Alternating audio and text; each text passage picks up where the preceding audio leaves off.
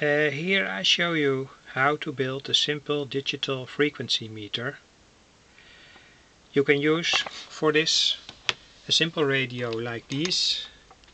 You can buy them in the shops. It's approximately 6 euros. Uh, these, these, these radios and they have a digital scale on it and the point is now that you search on the print for a place to put the oscillator signal in. And I've sought a, I've sought for the place uh, uh, search for the place and it's in this case here. So I put in the oscillator signal via this capacitor. It's a capacitor of 100 picofarad and it's connected to the oscillator that's here.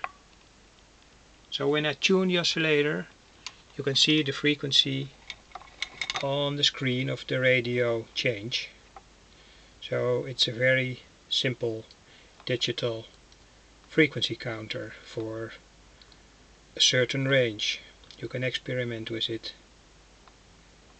um, the only point is that there is a difference between the frequency that you see on the radio and the real frequency and that's because of the intermediate frequency is also there.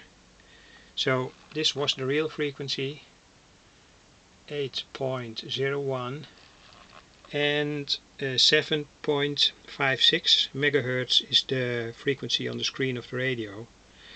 So that's something to count with when you build this simple digital frequency counter. Wish you luck.